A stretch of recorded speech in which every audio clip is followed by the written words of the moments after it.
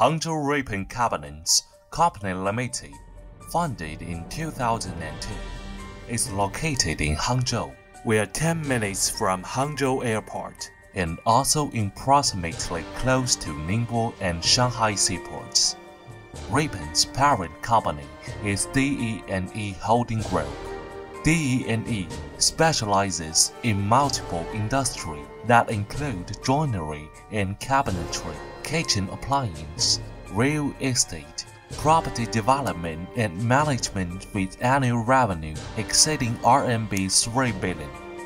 Rebon specializes in manufacturing high-quality joinery products, i.e. kitchen cabinets, workshops, bathroom vanities, bookcases, TV cabinets, and other home cabinetry. As early as in 2008, Rebon invested 260 million yuan to build a modern production base, covering a plant area of 80,000 square meters and introducing a large number of advanced equipment including German Homag and Italian BIESSE.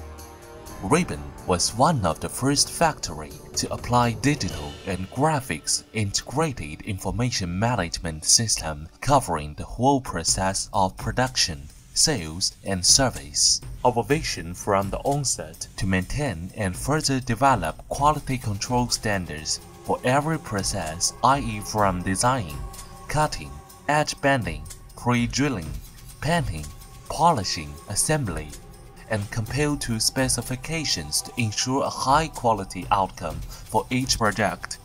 Our advantages are not only reflected in international design and research centers, high standard raw materials, standardized production control system, road-leading automated production line, but also in advanced management and operation system.